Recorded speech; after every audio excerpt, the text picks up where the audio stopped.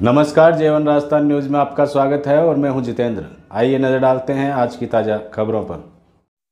खबर, नागौर ज़िले के नावा सिटी से है, जहाँ उपखंड मुख्यालय स्थित वार्ड नंबर 20 व्यास कॉलोनी में वीर तेजाजी महाराज मंदिर परिसर में भैरू जी महाराज की मूर्ति स्थापना का कार्यक्रम आयोजित हुआ। इस दौरान हवन अनुष्ठान के साथ विभिन्न धार्मिक कार्यक्रम आयोजित किए गए। प्राप्त जानकारी के अनुसार सुबह से ही हवन अनुष्ठान के साथ विशाल भंडारा का आयोजन किया, रखा गया, जिसमें सैकड़ों श्रद्धालुओं ने भाग लिया। वहीं रात्रि आठ बजे से गणेश वंदना के साथ भजन संध्या का आयोजन किया गया, जिसमें माँ दुर्गा म्यूज़िक एंड पार्टी द्वारा महेश कुमावत, गायक, कलाकार के नेतृत्व में एक से बढ़कर एक भजनों की प्रस्तुति दी गई।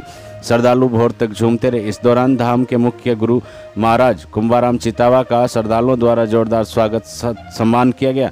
इस अवसर पर श्रद्धालुओं का उत्साह देखते बन रहा था। ढोल नगाड़ा, डीजे की धुन पर यात्री जगह जगह पैदल चलकर झंडे के साथ तेजा धाम मंदिर पहुँच रहे थे। पीपली बाज़ार स्थित जाल के बालाजी मंदिर परिसर से। एक पैदल जत्था रामदेव सेन के नेतृत्व में गाजे बाजू के साथ डीजे की धुन पर नाचते गाते शहर के विभिन्न मार्गों से होते हुए तेजा धाम मंदिर परिसर पहुँचा, जहाँ तेजाजी महाराज की चौकट पर मत्था टेक कर विश्व शांति की मंगल कामना की। इस दौरान मंदिर पुजारी धन्नाराम सोनू, कमेटी अध्यक्ष दुल्लीचंद कुमावत, प्रधान सेवक प्रभुदयाल कुमावत कुचामन अरविंद कुमावत नावा, कमल कुमावत, ताराचंद कुमावत, मोतीलाल मारवाल पुखराज कुमावत, छोटू राम पलाड़ा प्रेमा राम पल्लाड़ा, रामदेव सेन नामा सोशल सर्विस सोसाइटी अध्यक्ष लुकमान शाह, संयोजक बाबूलाल, बरवड़ मुकेश कुमावत, काजीपुरा हीरा राम खारिया डालू राम कुचामन, भागीरथ कुमावत कुचामन, भोमाराम कुमावत, फ्रेंड्स क्लब नामा अध्यक्ष मनोज गंगवाल, दशरथ सिंह राठौड़, सचिव Nama student club,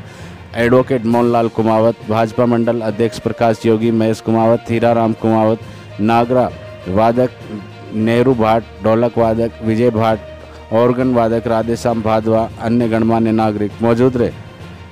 नावा सिटी से मनोज गंगवाल की विशेष रिपोर्ट।